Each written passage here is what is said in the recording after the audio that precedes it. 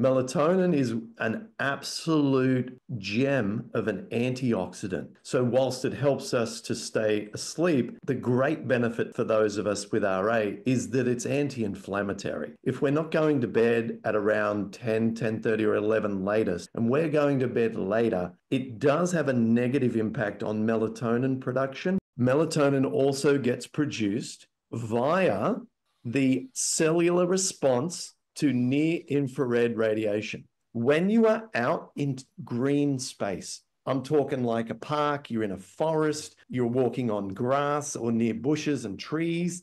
These surfaces, through ways that nature gives you goosebumps, reflect near infrared radiation, but not UV. This means that you can walk in green space without getting sunburnt and still absorb near infrared radiation.